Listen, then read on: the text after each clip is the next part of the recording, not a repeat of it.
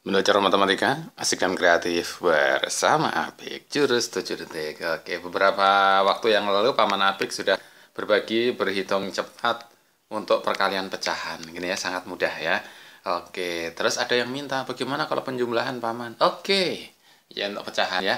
Oke, caranya kalau perkalian kan gampang, langsung ya. 2 per 3 kali 1 per 5 adalah atas kali atas. Oke, jadi 2 kali 1 berapa? 2, begitu saja. Kemudian bawah kali bawah. 3 kali 5 berapa? 15. Gitu, selesai. Wah, terlalu mudah, Paman. Iya, perkalian ternyata mudah. Kalau penjumlahan gimana, Paman? Nah, ini. Paman lalu penjumlahan juga punya cara yang mudah. Misalkan 1 per 2 tambah 1 per 3. 1 tambah 1, 2. Kita 2 tambah 3, 5. Ya salah kalau ini. kalau 2 per 5 salah. Tapi ada yang jawab 2 per 5 loh ya.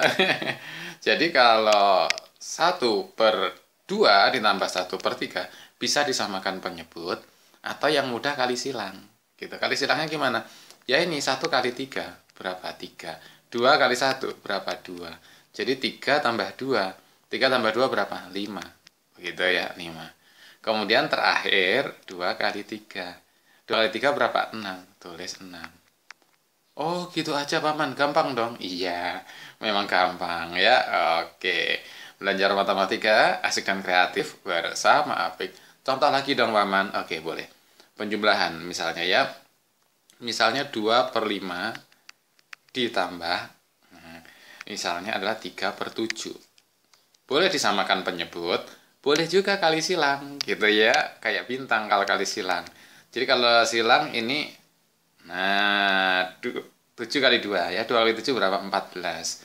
Kalau 3 kali 5 berapa? 15. Jadi 14 ditambah 15. Berapa 14 ditambah 15 adalah 29. Gitu kan? Oke. 14 tambah 15, 29. Terakhir bawah kali bawah. 5 kali 7. 5 kali 7 berapa? 35. Gitu kan? Selesai sudah. Oke. Tricky aja. Gitu ya. Oke. Latihan lagi. Belajar matematika. Asik dan kreatif bersama Apik.